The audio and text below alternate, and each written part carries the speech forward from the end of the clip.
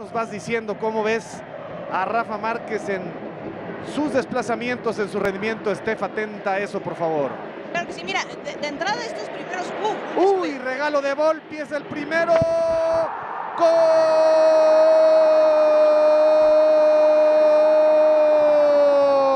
¡Gol!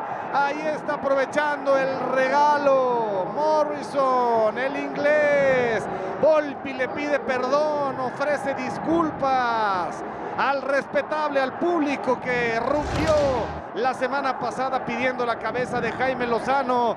Qué equivocación de Volpi, lo van a presionar. El despeje es para donde está Morrison. Adiós. El Atlas tiene la ventaja. El Atlas quiere liguilla. San Beso. El tiro.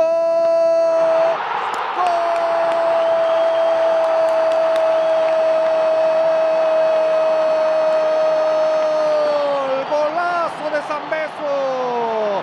Solamente sabe hacer goles cargados de arte como este, como el de la semana pasada. San Beso está de regreso, es oficial, es un hecho. ¡Qué golazo! Como los hacía Ramón Ramírez y esto ya se empató parte interna. Travesaño y para adentro. Es un verdadero golazo de Camilo Zambeso que ya nos tiene acostumbrado justamente a eso. La semana pasada no tenía el dominio cuando parecía claro, cuando presionaba. Querétaro parece que se empieza a encontrar con su fútbol. Y la pelota pasó dramáticamente. Finalmente Saldívar, Jaime Gómez, ya no llegó Caraglio. Gómez. Por poco hace falta ahí. Caraglio ya tiene la pelota el equipo queretano. Candelo con la marca de Reyes. Sacó centros. ¡Tú!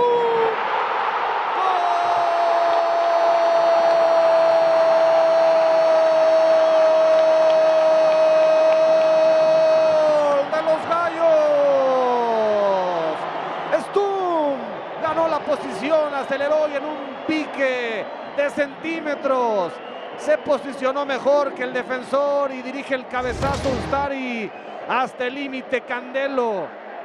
Sacó el centro y Stum remata. Qué fragilidad del Atlas, tanto para permitir el servicio como para marcar al definidor. Primero me da mucho gusto por el... Otro centro a zona de nadie. Muy, muy mal. Y se confía aquí, se confía el tiro. ¡Gol!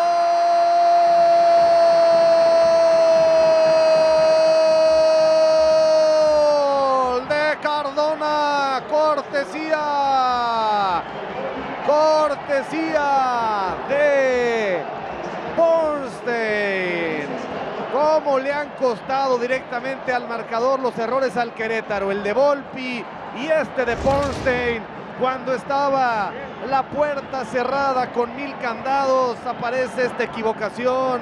Y a pesar de que Volpi regresa urgentemente, el daño ya estaba hecho por conducto de Cardona. Así empata el Atlas. 2 a 2, Ramón Ramírez. Pues sí, definitivamente...